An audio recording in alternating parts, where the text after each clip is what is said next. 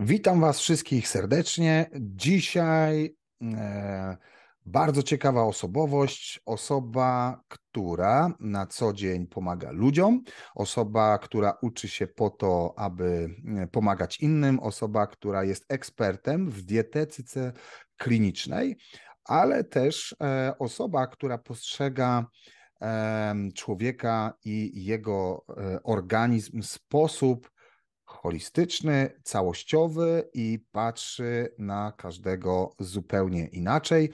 Zresztą e, tutaj, e, drodzy Państwo, szanowne Panie, szanowni Panowie, Ewa Radzewicz, e, dietetyk kliniczny. Ewo, bardzo się cieszę, że jesteś dzisiaj z nami. E, ja na pewno oczywiście nie przedstawiłem Ciebie tak, jakbyś Ty siebie przedstawiła, mhm. więc pierwsza moja prośba, czy mogłabyś powiedzieć parę słów o sobie? E, witam serdecznie, nazywam się Ewa Radzewicz e, i faktycznie jestem dietetykiem klinicznym z zawodu i wolę w ten sposób się przedstawiać, żeby nie było, że ja jestem, tylko że właśnie tym się zajmuję na co dzień.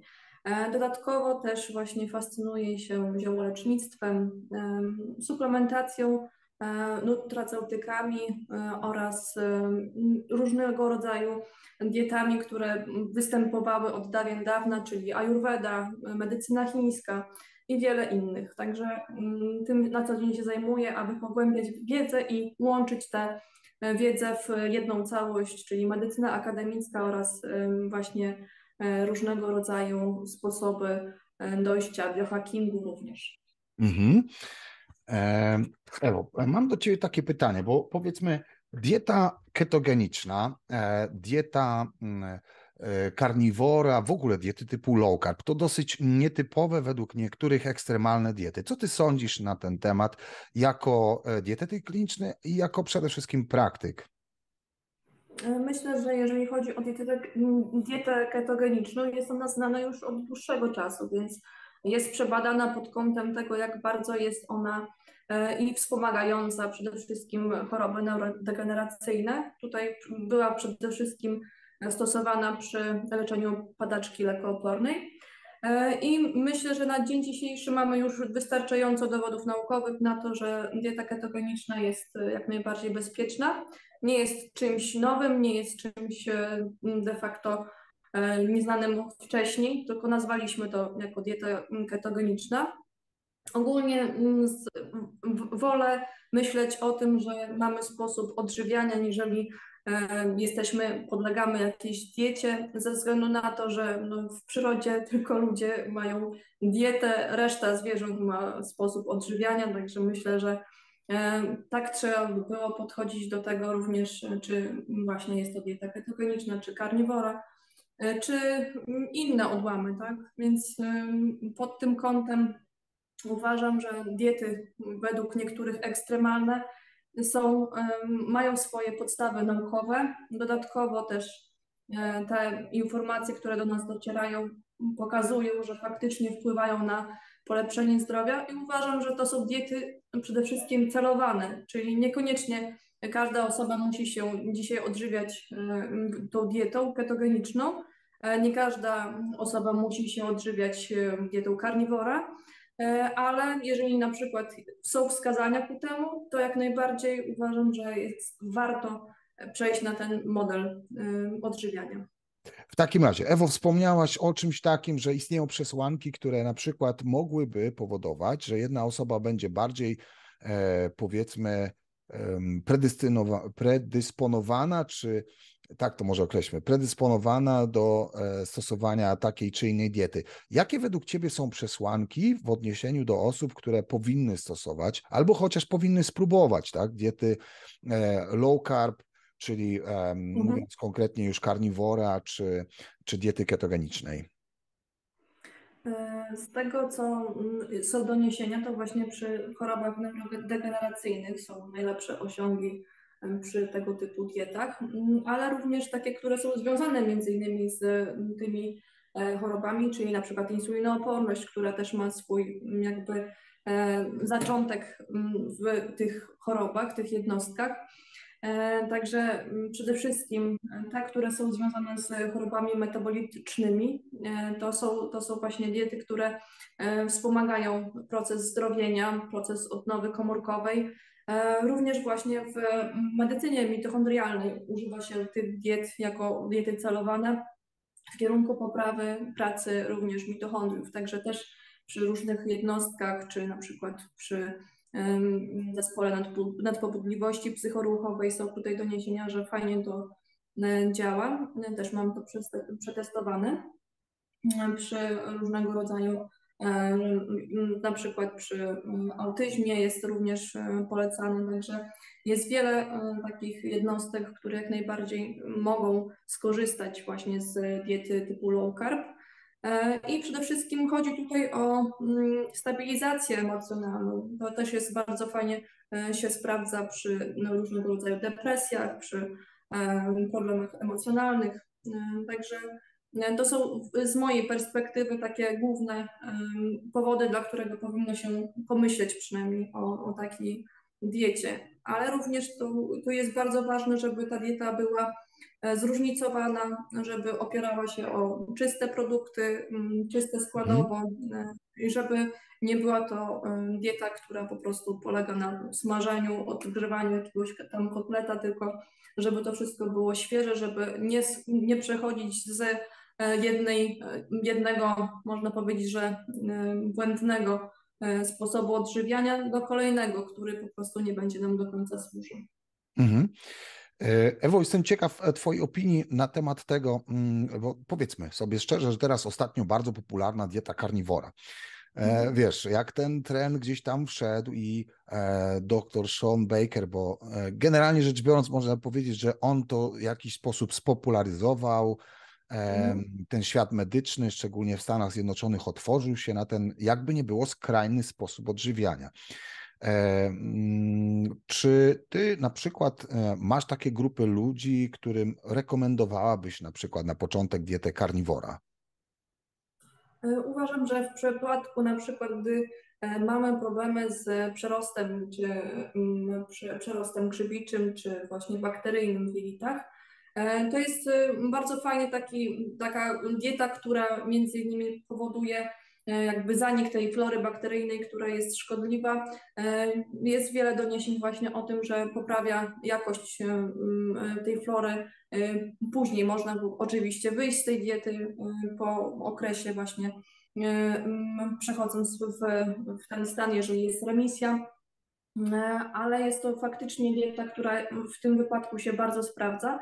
Też przy chorobach autoimmunologicznych, czy chorobach skóry, czy e, właśnie e, w różnego rodzaju, przy na przykład toczeniu jest polecana, czy przy mm, na przykład e, atopowym zapaleniu skóry. Przy wielu tutaj jednostkach może być faktycznie pomocna, może być ostatnią taką deską ratunku i moim zdaniem warto ją wykorzystać E, również oczywiście tutaj warto jest pomyśleć o suplementacji konkretnej, bo mm, nasza żywność nie jest e, aż tak e, w tej chwili, nie, nie posiada tylu składników odżywczych, jak była wcześniej. W tej chwili masowo produkujemy też, jeżeli chodzi o naszą uprawę, to już nie ma czegoś takiego jak płodozmian chociażby, tak? Nie ma czegoś takiego jak odpoczywająca ziemia, więc składniki mineralne i w naszych zwierzętach, które później spożywamy i e, w roślinach, które też spożywamy, nie są już w takiej ilości, jaka jest e, dla nas niezbędna do życia, tym bardziej przy takim stresie, gdzie e, te składniki są praktycznie na bieżąco wydatkowane. Więc moim zdaniem jak najbardziej dieta karniwora się sprawdza w takich jednostkach. Tutaj kotka nie sprawdza. Jest no, Midzia. No, ma parcie na skórę najwyraźniej. bardzo dobrze, bardzo dobrze. Akurat mówimy o diecie karniwora, czyli generalnie diecie celowanej. No, ja tak. Właśnie tutaj też dieta barw się sprawdza dla, dla zwierzaków jak najbardziej. Taka bardziej pierwotna wersja, bo, bo te chrupki to, to niestety jest wymysł nasz dzisiejszy, tak? Więc myślę, że, że pewnego rodzaju mm, zmiany właśnie tego typu właśnie na dietę karniwora powodują taki reset w naszym mikrobiomie i powodują reset ogólnie naszego organizmu, więc jak najbardziej polecałabym właśnie w takich sytuacjach. Mhm. E, czyli, Ewo, pytanie brzmiało następująco.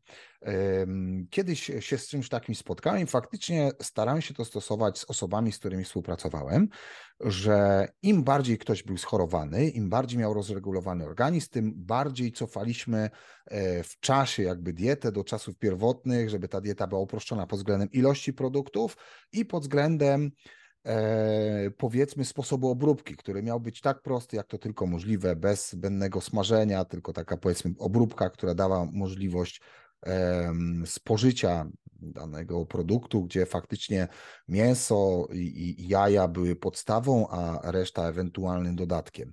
Co myślisz, e, jakie są Twoje przemyślenia w tym względzie?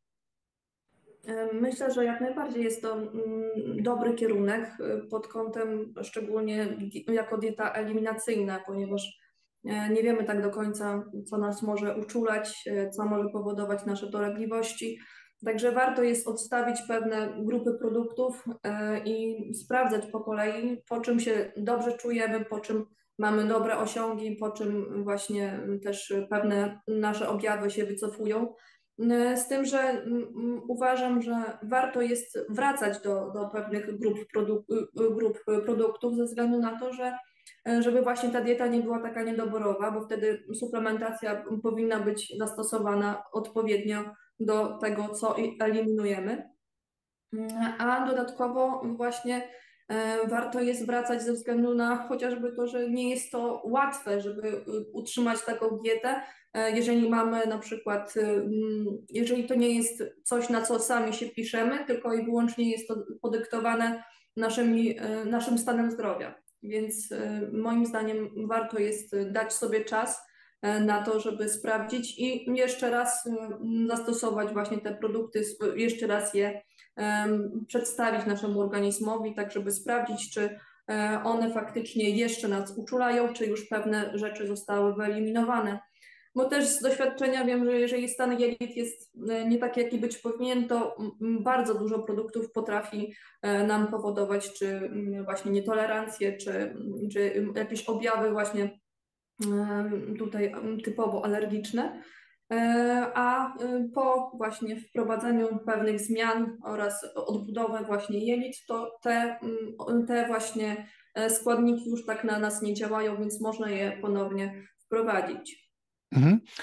E, jakie na przykład zalecałabyś produkty w kwestii rozszerzenia diety? Gdyby powiedzmy tam ktoś już ustabilizował sobie tą mikrobiotę, czuje się znacznie lepiej, e, mhm. co wprowadziłabyś na przykład w pierwszej kolejności jako rozszerzenie diety? Jeżeli byłyby eliminowane produkty mleczne, to myślę, że można by było wprowadzić ponownie. E, najlepiej też zaczynając od takich, które mamy większą pewność, że są E, z dobrego źródła, także staramy się, żeby to mleko było od faktycznie osoby, która ma jedną, dwie, trzy krówki e, i o nie dba, tak, tutaj nie, nie wrzuca jakiejś byle jakiej paszy, która jest czy modyfikowana genetycznie, czy e, ma zanieczyszczenia właśnie glifosatem, także jak najczystsze warto jest znajdywać właśnie źródło jakiegoś zaprzyjaźnionego rolnika, który nam może zaoferować takie swoje dobra. E, tak samo właśnie produkty e, typu jaja, e, ponieważ też one są często problematyczne, alergizujące, też warto jest je wprowadzić po takiej diecie eliminacyjnej, ze względu na to, że jest to bardzo skumulowana ilość składników odżywczych, jest to też źródło fajnych tłuszczy. Tutaj też mamy zawartość w, właśnie w żółtku. Żółtko jest nawet bardziej takie gęste odżywczo niż białko, a białko jest jak najbardziej wzorcowe pod kątem ilości aminokwasów, także też warto moim zdaniem te jaja wprowadzić, żeby one nie.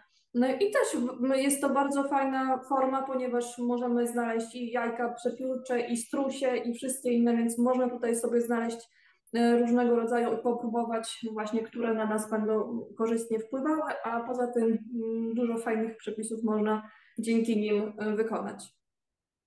Więc okay. myślę, że jak najbardziej do tego też kiszonki na przykład są bardzo fajną formą, e, jeżeli jest to dobrze tolerowane, jeżeli nie ma na przykład problemu z histaminą, Są dobrze tolerowane właśnie kiszonki, to jest też fajne źródło takich bakterii fermentowanych, także mhm. to moim zdaniem warto jest wprowadzić, jeżeli faktycznie ta tolerancja jest zwiększona, tak? Mhm, mhm. Okej, okej. E, czyli podsumowując, jak ktoś wcześniej nie robił sobie jaj, to dobrze, żeby sobie je zaczął robić. Tak. Okej, okay. dobre wskazania. E, Ewo, bo tak, tak naprawdę jeżeli chodzi o te diety, e, zazwyczaj wiem z doświadczenia, że za tym kryje się też jakaś taka osobista historia. Czy ty masz też taką osobistą historię, która zawiodła cię w stronę diet typu low carb? No bo jakby nie było, to mm, jest troszeczkę E, stoi w opozycji w odniesieniu do tradycyjnego modelu kształcenia na kierunku dietetyka. Zgadza się? Jak najbardziej. No, w, e, na moich studiach, owszem, była rozmowa na temat diety ketogenicznej, ale układaliśmy w zasadzie e, jadłospis dla osoby, która właśnie ma padaczkę lekooporną, więc tak tylko w takim, w takim wypadku było to zastosowanie i taką wiedzę w zasadzie wtedy posiadałam.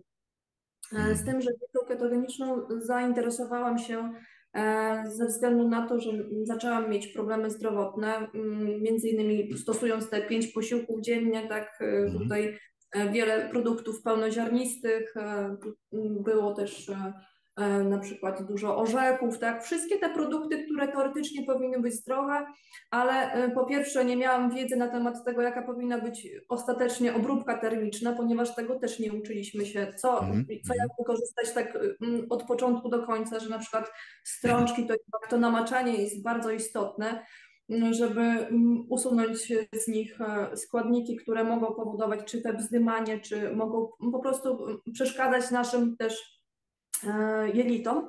E, więc e, takiej wiedzy jeszcze wtedy nie posiadałam. Raczej była tylko typowo właśnie co, co przygotować, ile kalorii posiada, tak to, to były główne, główne informacje. No i taki typowy właśnie plan, redukcja masy ciała, to trzeba obciąć kalorie, tak, to, to, to była podstawa w zasadzie naszego kształcenia. Mhm. Dietą zaczęłam się interesować, kiedy pojawiły się pierwsze problemy zdrowotne. A E, to było zwiększone węzły chłonne, z którymi nawet udałam się do onkologa, ponieważ nie, było, nie wiadomo było, dlaczego one się utrzymują mm -hmm. na takim poziomie.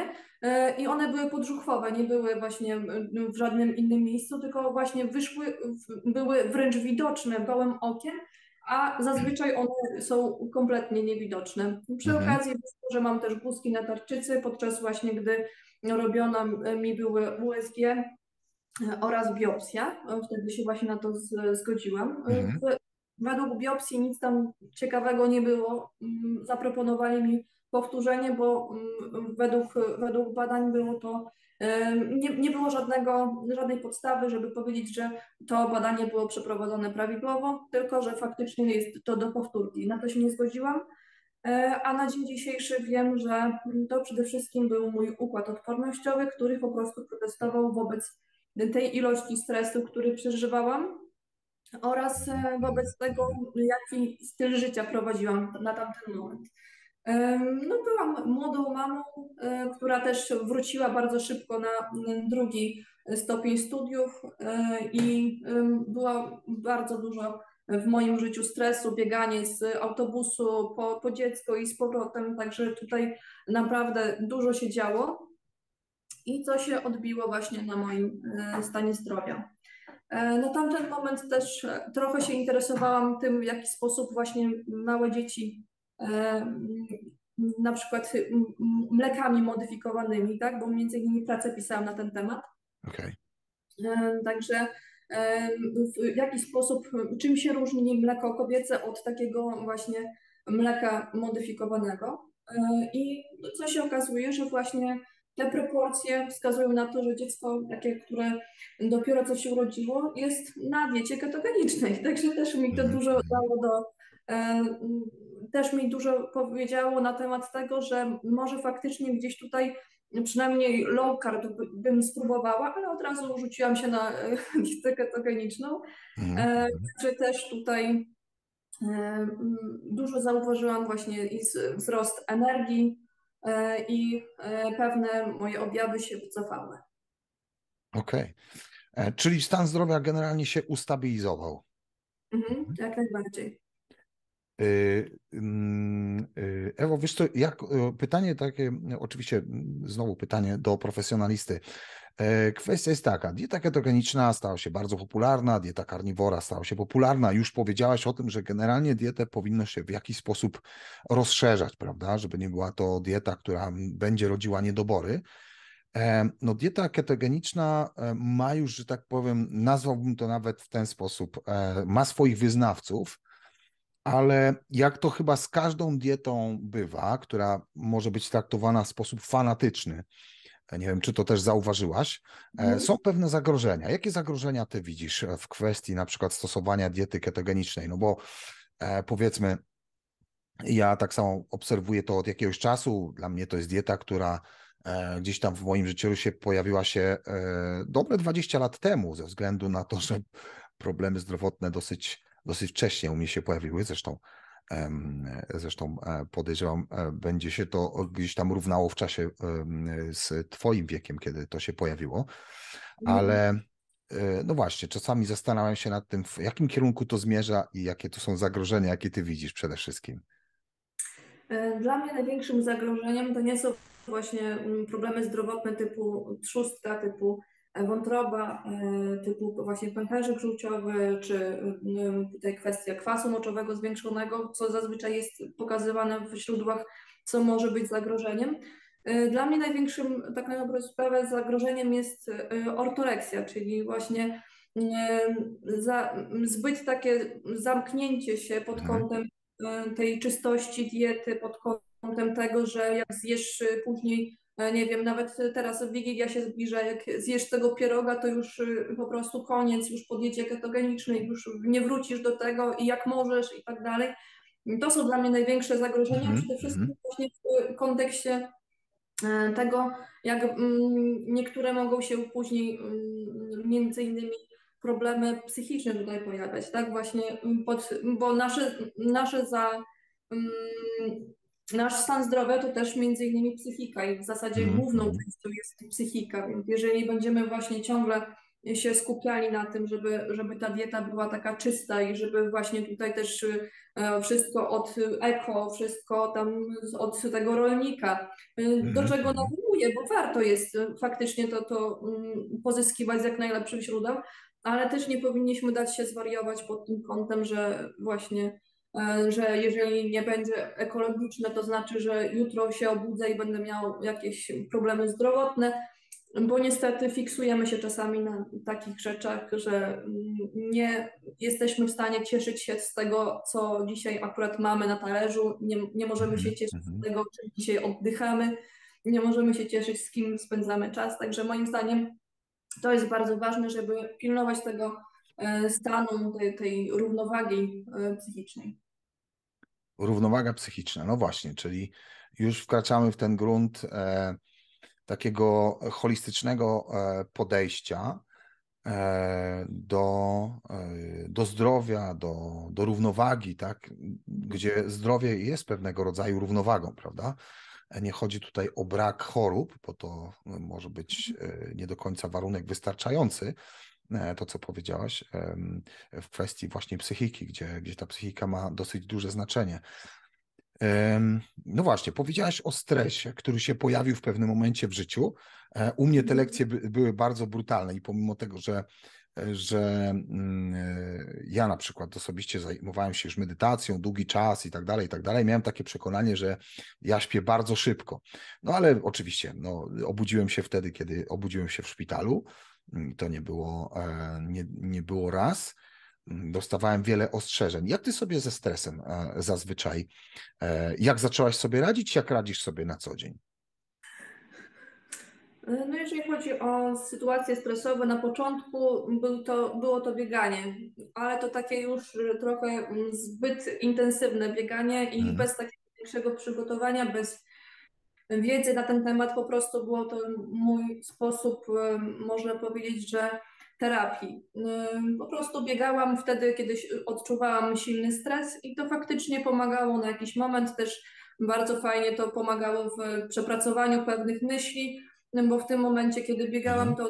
to same procesy myślę, że tak powiem, zachodziły bez, bez potrzeby właśnie tutaj stymulacji dodatkowej. Także to jest mój sposób do tej pory na stres, ale zdecydowanie rzadziej to robię. Zdarzało się, że kończyło się właśnie jakim, jakąś tam hipoglikemią, także nie najlepiej się czułam później po 20 na przykład kilometrowym biegu, więc mm nie zrobiłam tego wtedy z głową. E, w tej chwili staram się właśnie bardziej tak do siebie pozytywnie podchodzić i bardziej z taką troską, jak o, jakbym na przykład traktowała swoje dziecko, e, jak, jakbym traktowała swojego przyjaciela, więc w taki sposób w tej chwili ze sobą staram się um, funkcjonować. Więc na przykład zdarzają się czy kąpiele, czy na przykład aromaterapia, gdzieś tam włączę właśnie dyfuzor, który też mi pomaga, bo no, nie ukrywamy, że fajnie mieć ładny zapach w, dookoła siebie, a przy mhm. okazji to ładnie relaksuje. Też właśnie ma bardzo dużo e, badań już jest na temat e, różnych olejków eterycznych, które mają swój wpływ na nasz organizm i na układ limbiczny, także tutaj też bardzo jak najbardziej polecam e, na przykład na gwiazdkę dobrym sposobem jest właśnie dyfuzor. Mhm.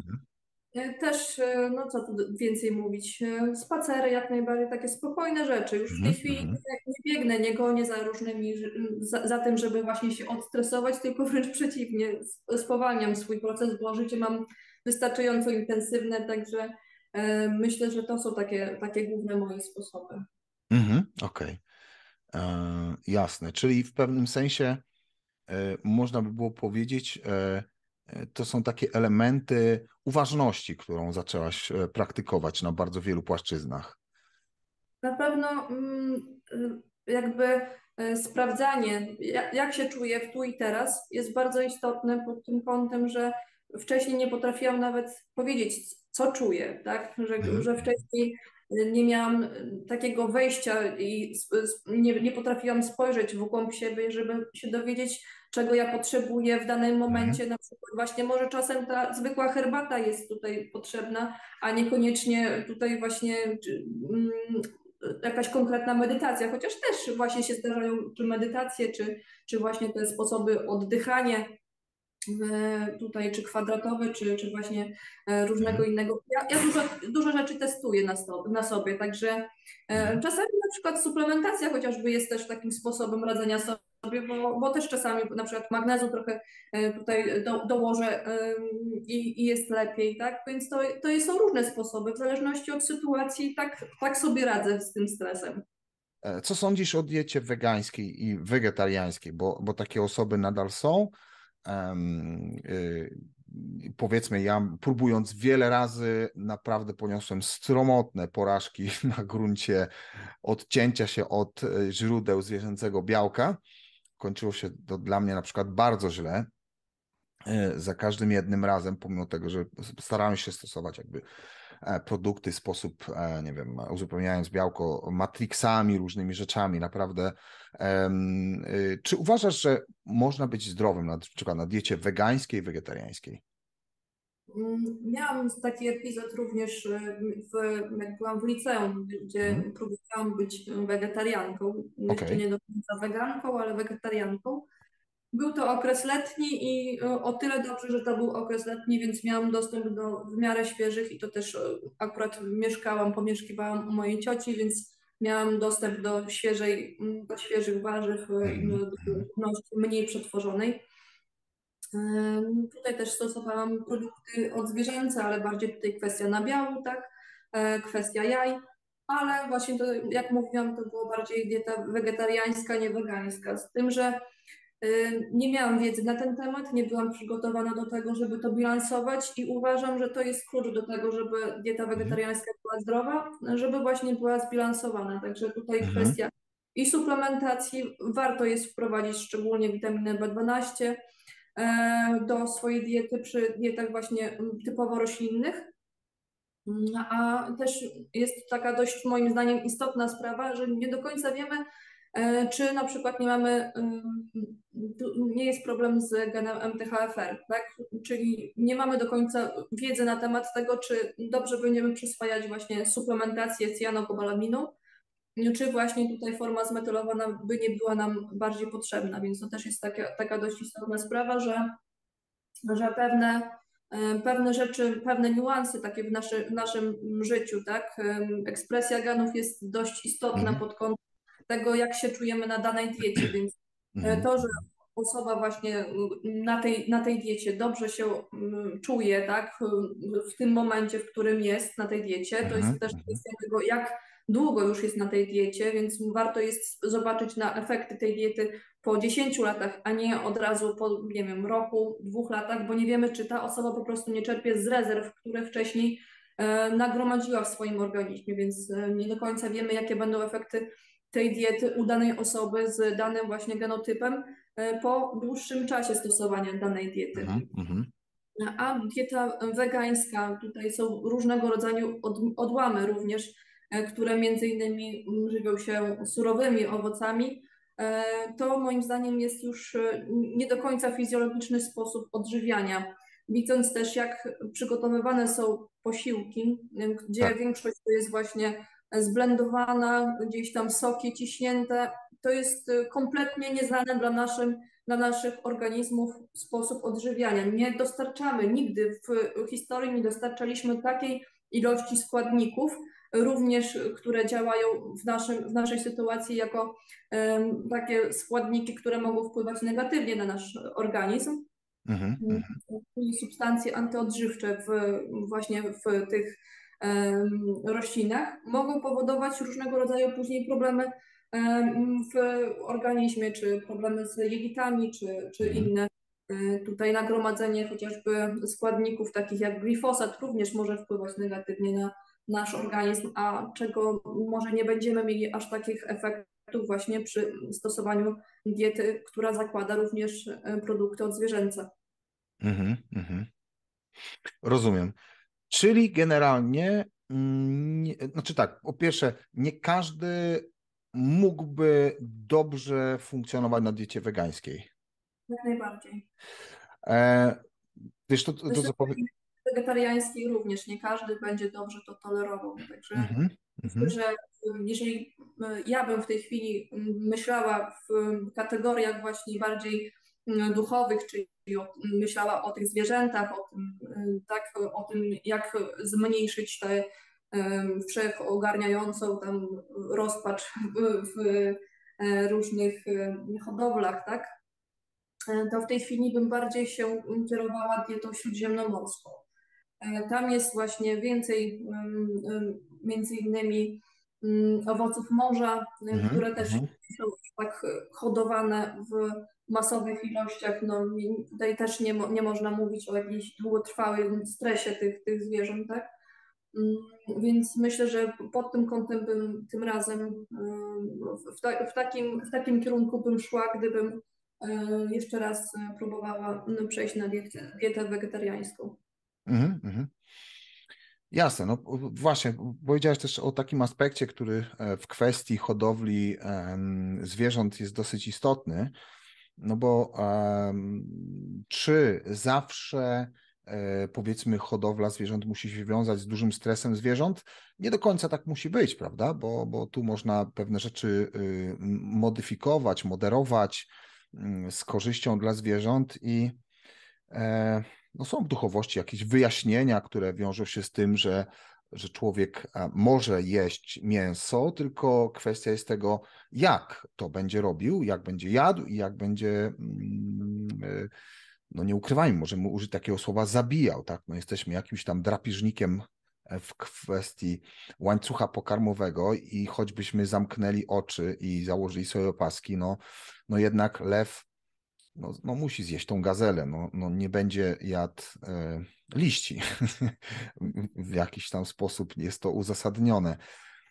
E, Okej. Okay. Ja to widzę w ten sposób. Mówiłam w tym momencie o masowej produkcji mhm. właśnie mięsa. E, to tutaj mnie samą bardzo to, to martwi, jak to wygląda, ponieważ to też się wiąże z jakością tego mięsa. Nie będzie zawierało takich składników, jakie powinno właśnie na przykład wołowina chociażby, tak? Jeżeli mhm. na przykład krowa pasie się gdzieś tam na polu, zjada tę trawę, również zjada przy okazji różne robale i inne takie rzeczy. Ona ma zupełnie inne jakości też później mięso, więc e, spożywając takie, takie mięso mamy większą na pewno nie, nie musimy już tutaj martwić się o pewne składniki, o stosunek omega-3 do 6, tak? Tutaj mhm. wiele rzeczy E, wchodzi e, pod, pod kątem właśnie tego, jak szkodliwa jest dla nas ta masowa produkcja mięsa. E, mhm. Niedawno była jakaś afera w związku z kurczakami gdzieś tam w Lidlu. No, te, te hodowle nie są tak przystosowane do tego, żeby i te zwierzęta były niezestresowane mhm. i żeby właśnie to, mięso było ostatecznie jakościowo odpowiednie. Także y, uważam, że warto jest szukać, y, szukać takiej y, dobrej, jakości właśnie takich produktów spożywczych.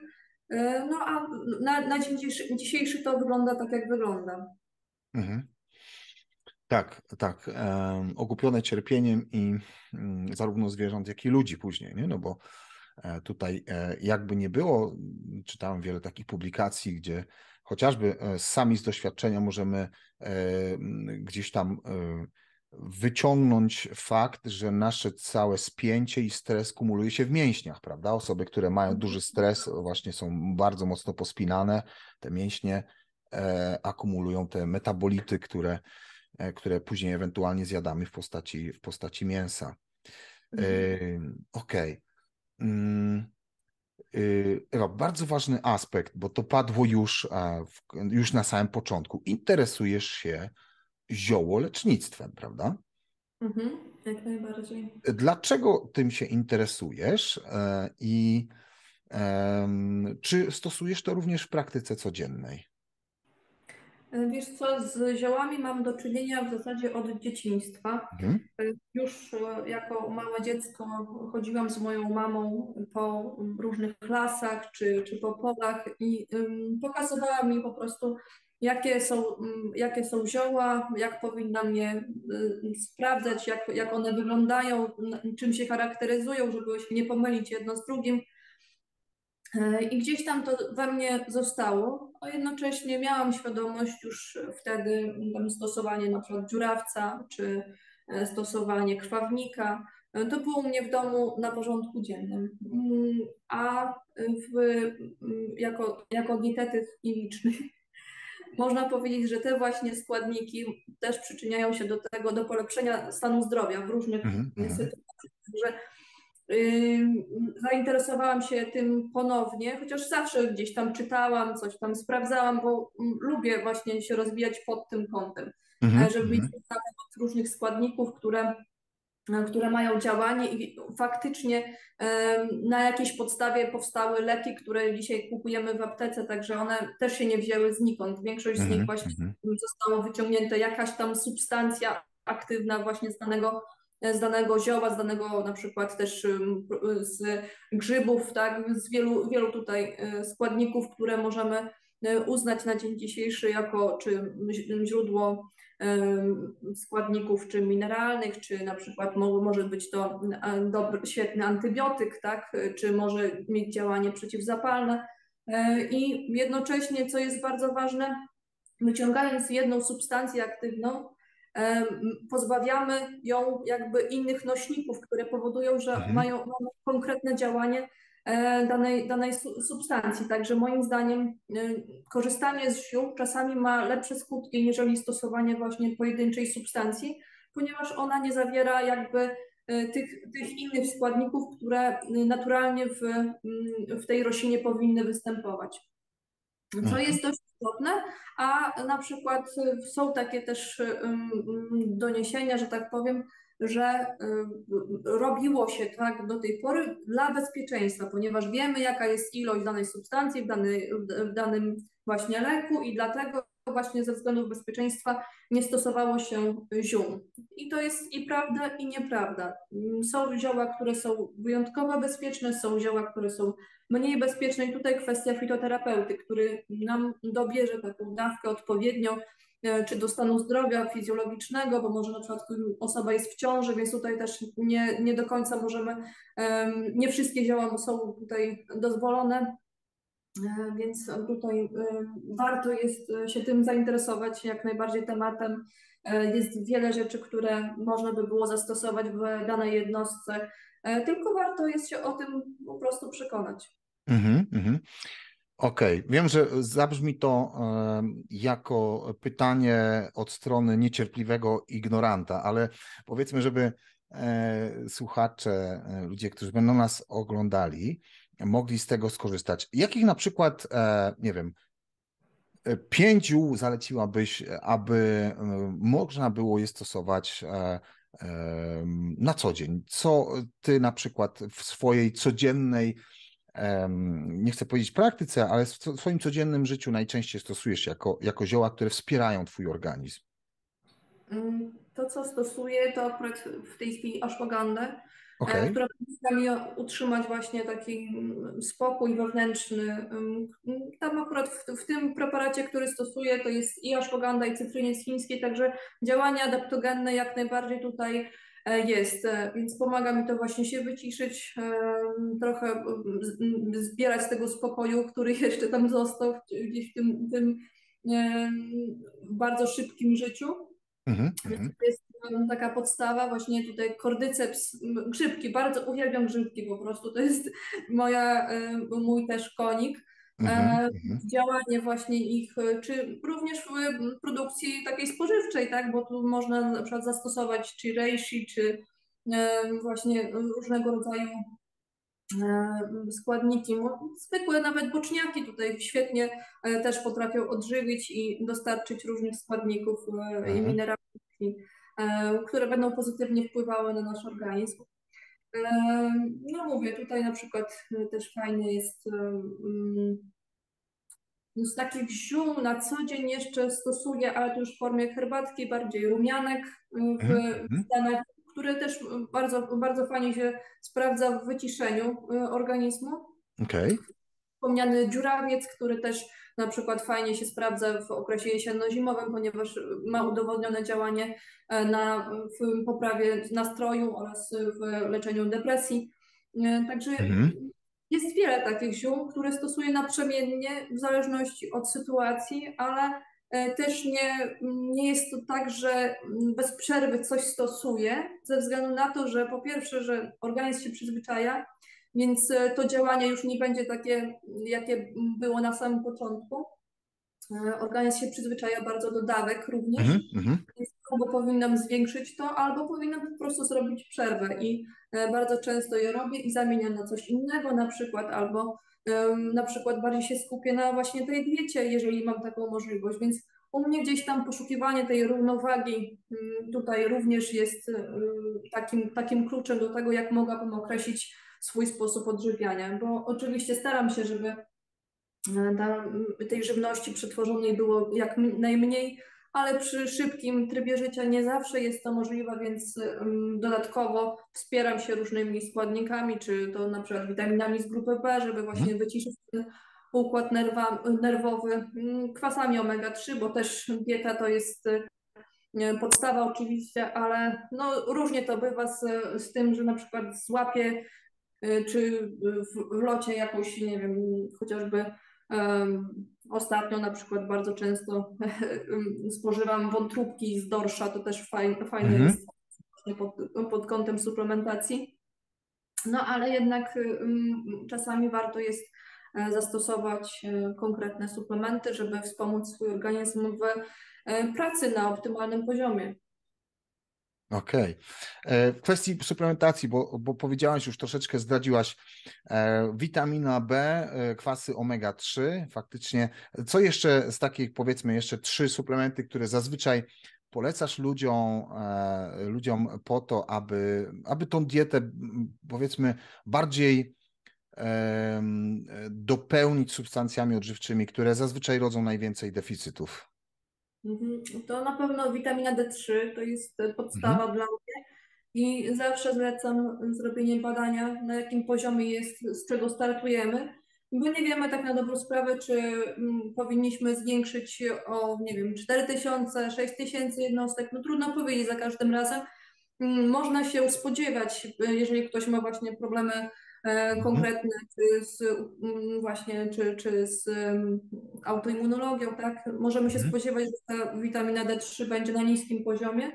Mm, I warto jest zbadać pod tym kątem, ponieważ e, właśnie w tym metabolicie 25-HD3, e, aby zobaczyć na, od czego startujemy, bo jeżeli e, osoba właśnie mm, ma tam 17 na przykład jako wynik, no to warto by było jednak zwiększyć do tych 60-70 do, do takiego poziomu.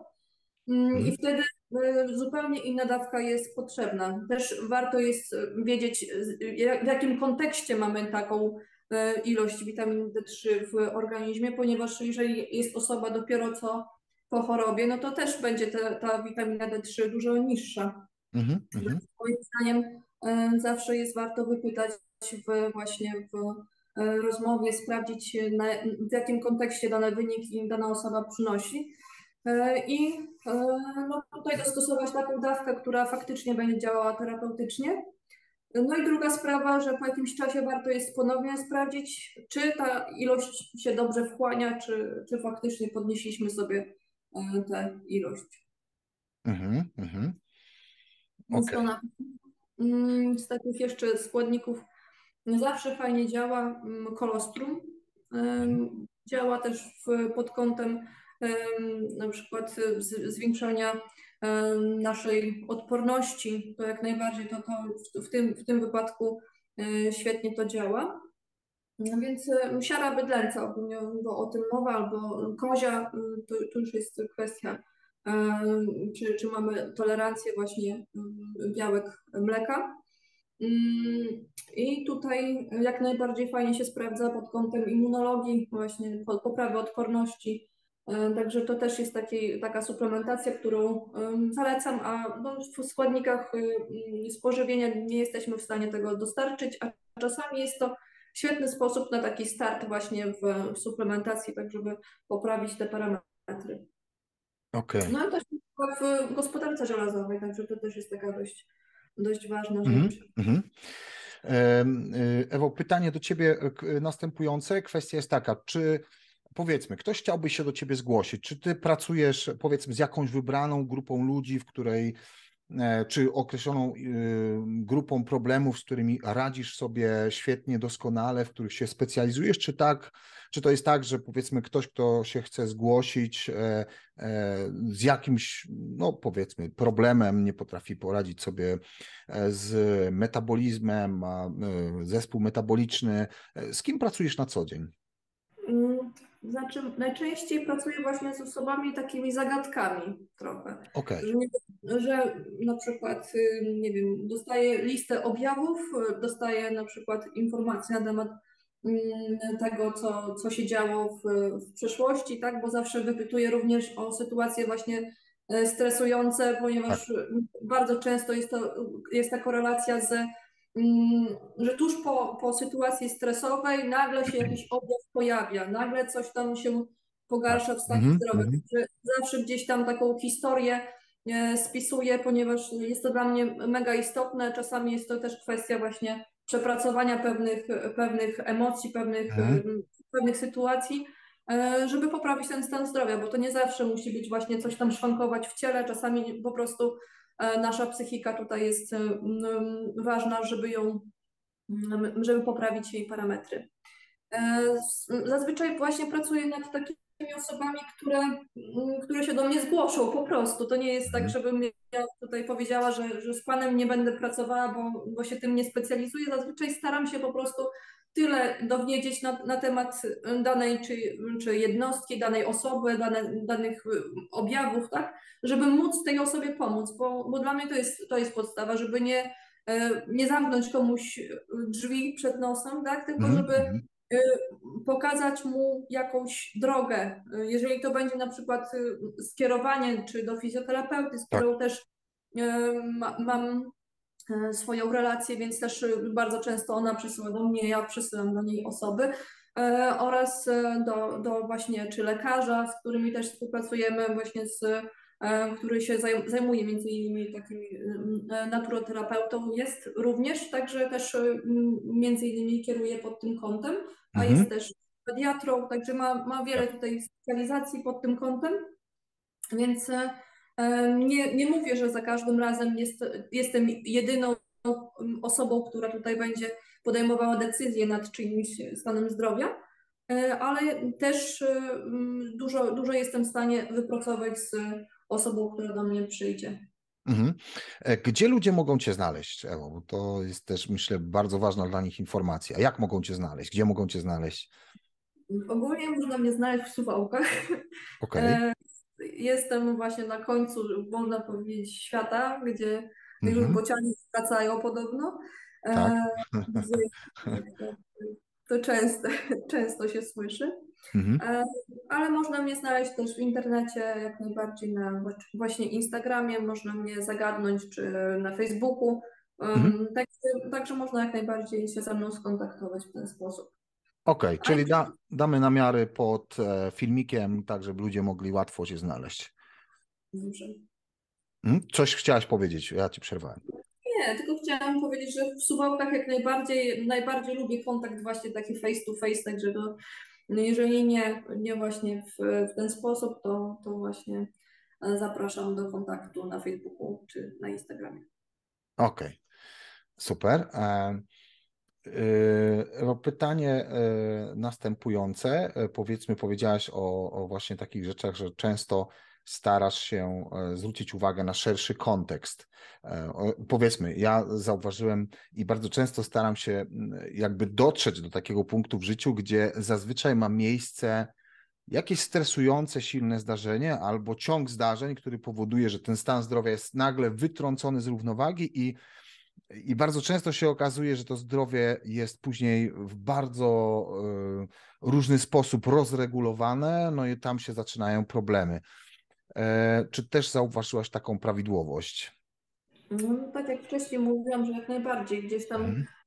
rysując linię czasu można na właśnie sobie pozaznaczać, tak. E, gdzie wydarzyły się najtrudniejsze dla nas sytuacje. Jest też e, skala, która mówi nam o tym, że właśnie sytuacja czy śmierci kogoś bliskiego jest, czy ślub nawet jest zaznaczony właśnie na, na tej skali, co może powodować u nas właśnie stres. A my niestety żyjemy w przewlekłym stresie, mhm. więc y, czasami ta linia ciągła, można powiedzieć, że można w ten sposób mhm. zaznaczyć, że e, tutaj były te eventy stresowe. I gdzieś tam też w badaniach, czy na przykład kortyzol, możemy sprawdzić, że albo za wysoki, albo za niski i to też nam dużo mówi na temat tego, co się wydarzyło w naszym organizmie. Mhm, mhm. Jasne. E, tak jak mówisz, linia ciągła, która często okazuje się linią ciągłą, e, równią pochyłą. Nie? Jeżeli nic z wieloma rzeczami nie zrobimy, no to automatycznie e, po prostu dzieje się tylko gorzej. No plus wydaje mi się, nie wiem co ty na ten temat sądzisz, ale bardzo często jest tak, że mamy bardzo, no z racji tego, że wiadomo, jestem hipnoterapeutą klinicznym, który zwraca na to uwagę bardzo mocno, czyli to, co się dzieje pomiędzy słowami, kiedy ludzie mówią, opowiadają o wielu rzeczach. Bardzo często mamy wiele takich, bym powiedział, szkodliwych przekonań, które szkodzą nam w byciu zdrowym. Nie wiem, czy mhm. zwróciłaś też na to uwagę, że E, powiedzmy, mówi się o tym, że e, o bardzo często, że e, ludzie często usprawiedliwiają swój stan zdrowia, który jest zły, tym, że mają już określony wiek, że to już jest ten czas, kiedy powinni mieć problemy zdrowotne. No właśnie, jak to jest czasem? Czy uważasz, że przychodzi taki moment w życiu, kiedy człowiek powinien zacząć nie wiem, łapać się za kręgosłup, twierdząc, że to już jest ten czas? Jaki jest ten czas? Czy to jest taki czas, który powoduje, że my powinniśmy się czuć źle? Znaczy, wiesz, ja zawsze się wolę porównywać do tych, którzy są najlepsi. Także mhm. jeżeli stulatek potrafi przebiec maraton, to myślę, że też 60-latek i 40-latek powinien móc to zrobić. A to, co robimy ze swoim organizmem, to już jest inna sprawa, tak? Jeżeli pewne substancje na przykład nadużywamy, jeżeli właśnie jesteśmy w przewlekłym stresie, jeżeli nie mhm. dbamy o sen, e, jeżeli dbamy też o stan psychiczny, no to nie możemy się spodziewać tego, że będziemy mieli tę samą wydolność, co osoba, która o to wszystko dba, tak? O co miała, czy, czy odpowiednio mindset, bo podejrzewam, że to głównie o to chodzi, że wiedziała o tym i myślała o tym przez, mhm. przez większość swojego życia, jak to zrobić, żeby nikt nie musiał mi właśnie tutaj, powiedzmy, tej pieluchy zmieniać na, na starość, nie? To jest moim zdaniem najważniejsza rzecz, żeby, żeby myśleć pod tym kątem, żeby mieć jak, naj, jak najlepszą wydolność w, w takim wieku późniejszym, tak? Mhm, mhm. Jasne. E, Ewo, jakie trzy rady dałabyś swoim podopiecznym w kwestii tego, aby pozostali, e, jak to się mówi, jak to się wszystkie bajki kończą, chociaż wiemy, że są takie, które się tak nie kończą i żyli długo i szczęśliwie. Mhm. Jeżeli chodzi o ten okres przedświąteczny, czy ogólnie? Wiesz co, najpierw ogólnie, bo za chwilę do świąt dojdziemy, bo to jest taki newralgiczny okres, który właśnie rodzi wiele, wiele wynaturzeń, nazwijmy to takie trzy mm, rady. To na pewno obserwować swój organizm, mhm. sprawdzać, co nam się sprawdza właśnie na dzień dzisiejszy, e, co, co się nie sprawdza i pewne rzeczy po prostu tutaj być elastycznym w tym wszystkim, mhm. tak? Mhm. Jeżeli komuś się sprawdza dieta ketogeniczna, to nie znaczy, że musi tobie akurat się sprawdzać i warto jest poznać przyczynę, dlaczego ci się to nie sprawdza, a u innej osoby się to sprawdza, tak?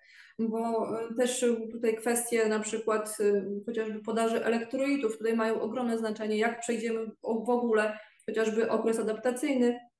Także jest wiele powodów, dla którego pewien model żywieniowy może nam się nie sprawdzać i warto dotrzeć do wiedzy na ten temat, ponieważ można po prostu to w jakiś sposób e, zmienić, tak? Możemy dostosować sami się do, do danego modelu, tak? Mhm.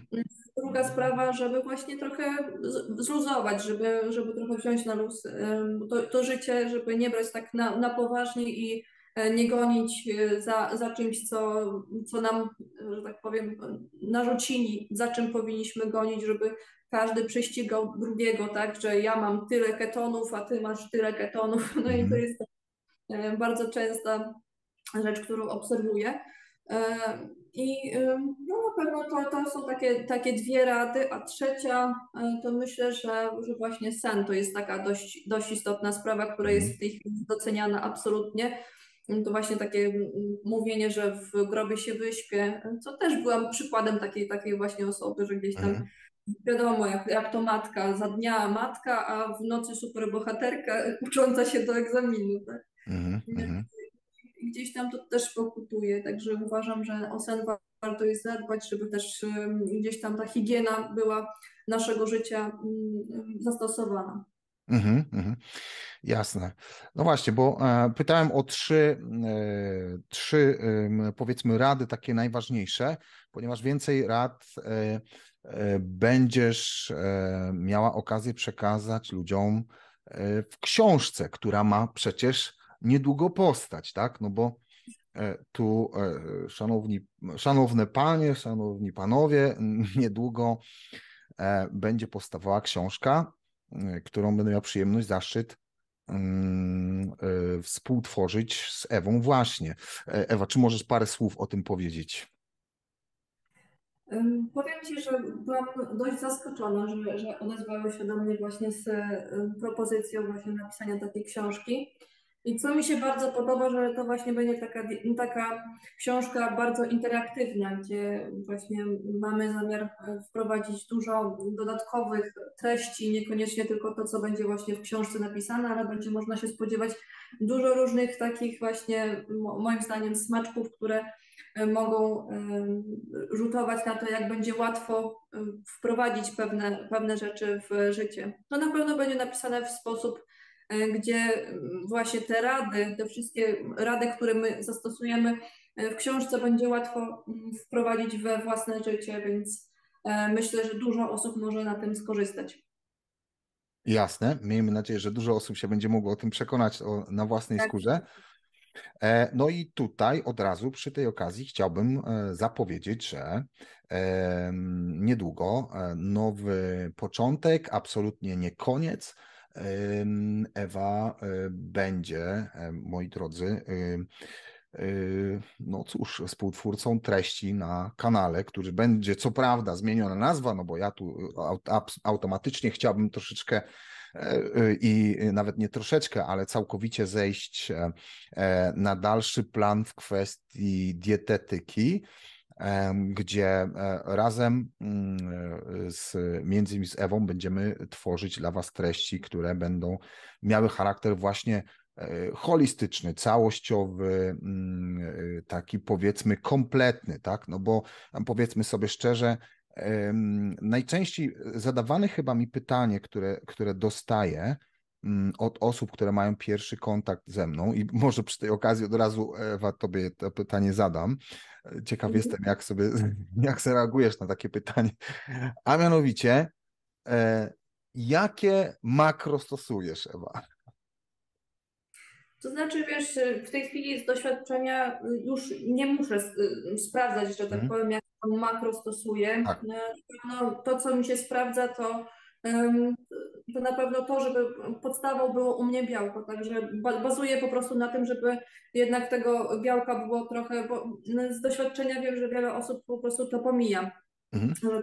Te kwestie pomija, a e, niestety bez e, tego składu aminokwasowego to, to za daleko nie pojedziemy. Więc e, raczej bazuję na dobrej jakościowo, właśnie dobrym jakościowo białku, a później dokładam do tego mm, jakieś tam węglowodany, e, jakąś tam ilość też e, tłuszczu. E, I też nie, nie stosuję się do tego, żeby, nie wiem, oblewać wszystko tak tłuszczem, żeby tutaj mm, wszystko pływało w tym tłuszczu, ponieważ mój organizm akurat tego dobrze nie toleruje. Mhm. Więc wolę, jeżeli będzie tego tutaj też na przykład tłuszcze typu oliwa z oliwek, tak, żeby dolać jakiś olej lniany gdzieś tam do sałatki, Także w tym się czuję modelu najlepiej. I moim zdaniem to też jest klucz, żeby dostosować te, ten model żywieniowy do danej osoby, więc niekoniecznie właśnie musi tutaj wszystko pływać w tłuszczu. Jeżeli ci to, dla ciebie jest to coś, w, w czym dobrze się czujesz, to w porządku, ale niekoniecznie druga osoba będzie się tak samo dobrze czuła. Także u mnie makro nie do końca istnieje, tak samo liczenie kalorii nie do końca istnieje. Owszem, jak przyjdzie osoba, która prosi mnie o jadłospis na tyle i tyle kalorii, to najpierw oczywiście sprawdzam, czy takie zapotrzebowanie faktycznie ona potrzebuje. Mm -hmm.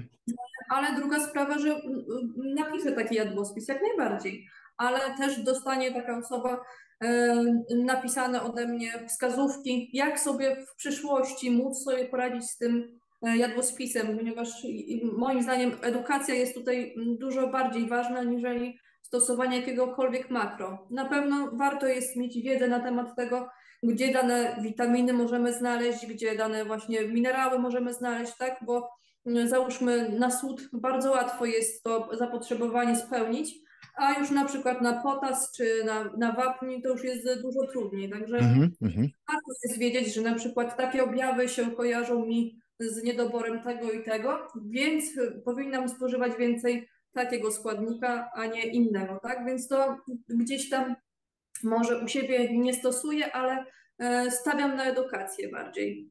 Mhm.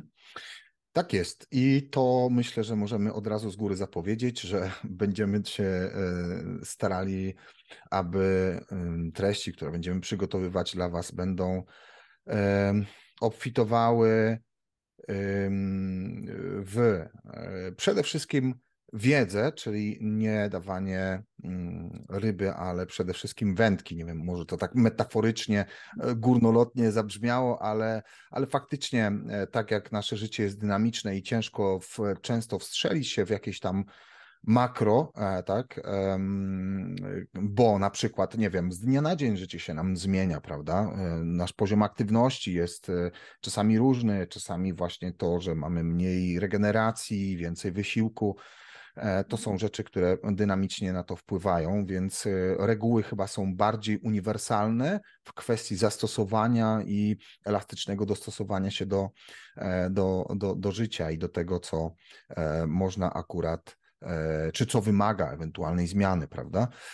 Więc dla mnie mm, takie powiedzmy o otwarcie rozdziału, który mm, wydaje mi się bardzo ekscytujący, w kwestii właśnie tworzenia mm, treści dla wszystkich, którzy są zwolennikami jakiegoś tam kierunku w kwestii diety, ale przede wszystkim myślą w sposób holistyczny, bo, bo to myślę e, będzie takim charakterystycznym, e, wydaje mi się, podstawowym e, wspólnym mianownikiem dla, dla nas, którzy będą to tworzyli. Więc bardzo z tego powodu się cieszę. No tak, Ewa, wspomniałaś o tym, że e, idą święta. No, tego się nie da e, nie przeoczyć. Już powiedzmy, e, kuchnie zaczynają ruszać pełną parą w niektórych domach. No właśnie, Ewa, jakie, była, jakie byłyby rady, które dałabyś osobom, które za chwilę wejdą w święta e, pełną parą, a nie chciałyby doświadczać negatywnych efektów, szczególnie w kwestii e, no, zwiększonej wagi, pomniejszonej mobilności i jeszcze wielu innych czasem negatywnych aspektów związanych ze świętami.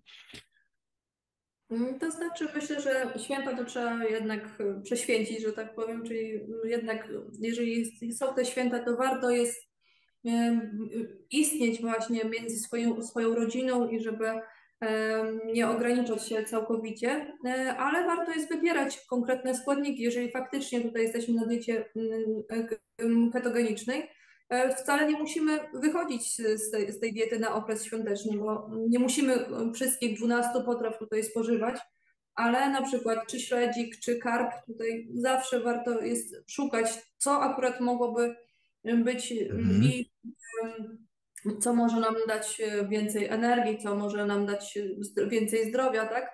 I możemy też e, jako anegdotę tutaj przy rodzinnym stole powiedzieć, dlaczego taką dietę stosujemy, co jest właśnie tutaj, dlaczego akurat jemy takie produkty, a nie inne.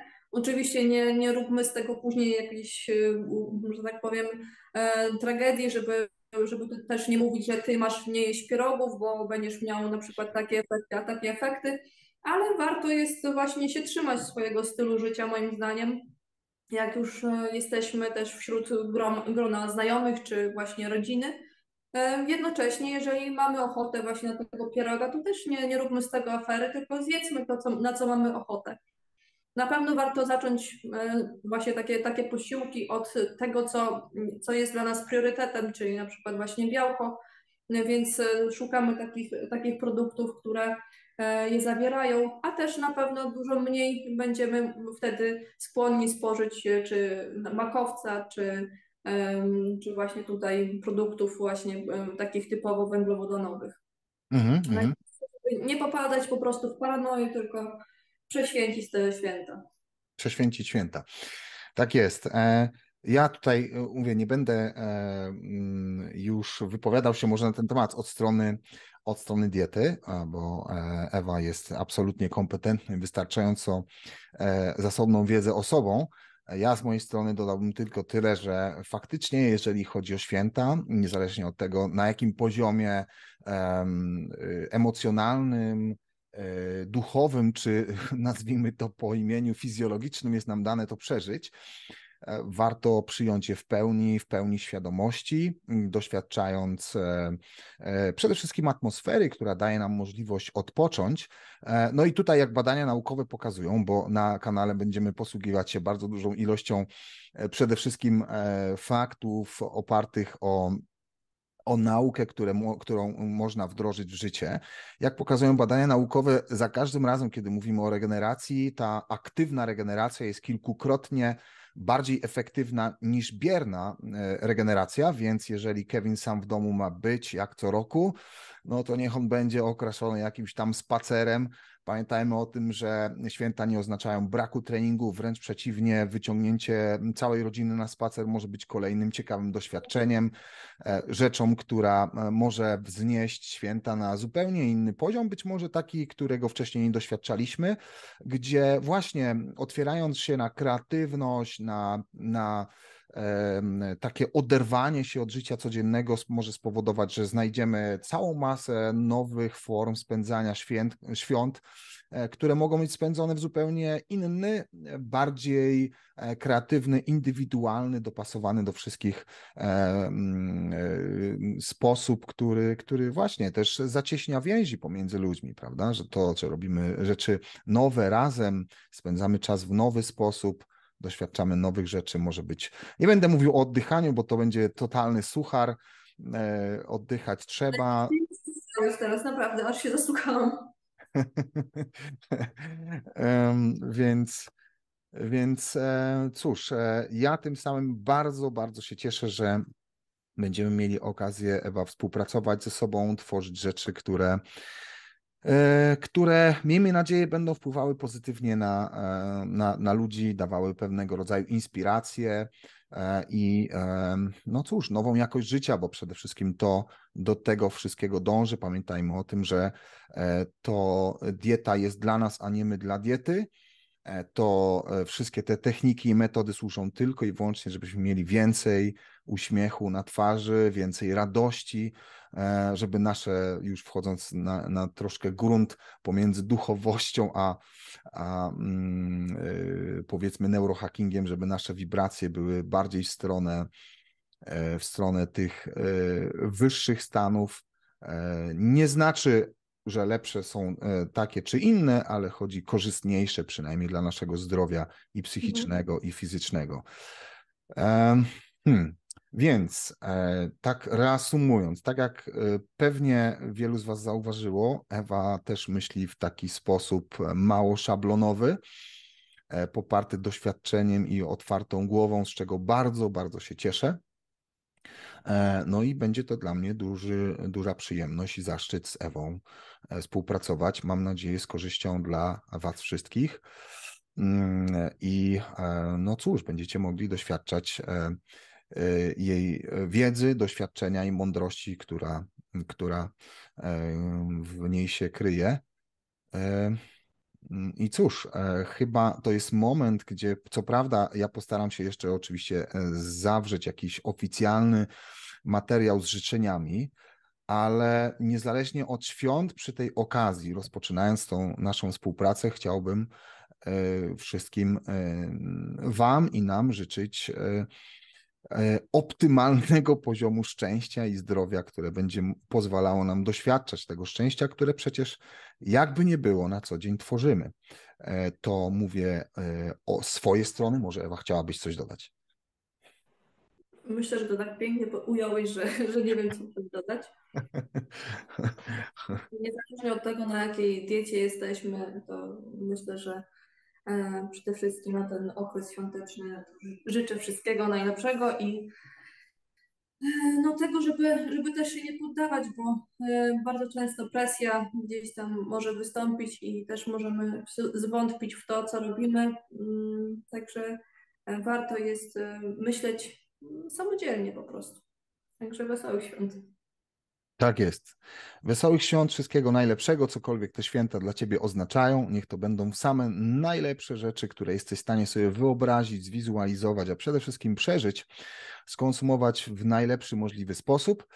A ja tym samym zapraszam Was na pierwsze treści, które będziemy przygotowywali już e, niebawem, e, gdzie owocem e, naszej współpracy, takim pierwszym, namacalnym, oprócz oczywiście, mam nadzieję, masę materiałów korzystnych dla Was, będzie książka, która, e, która no cóż, już tam gdzieś powstaje i będzie e, możliwe, że już niebawem będziecie mogli jej doświadczać. Co prawda, na chwilę Ewa mi e, tutaj uciekła, być może problemy z zasięgiem, ale za chwileczkę poczekam, aż odzyskamy kontakt z Ewą, bo chciałem jej jeszcze oficjalnie podziękować. Cóż, Ewa, dziękuję Ci bardzo za ten wywiad. Myślę, że e, bardzo cenny dla wielu oglądających. E, serdecznie e, dziękuję za poświęcony czas, za wiedzę, którą zechciałaś się podzielić. No i niesamowicie cieszę się na przyszłość ze względu na to, co jeszcze możemy stworzyć niebawem. Ja również dziękuję. Bardzo miło mi, że, że tak to uważasz i wesołych świąt jeszcze raz życzę. Tak jest. Wesołych świąt dla wszystkich. Serdecznie pozdrawiamy. Najlepszego. Trzymajcie się. Cześć.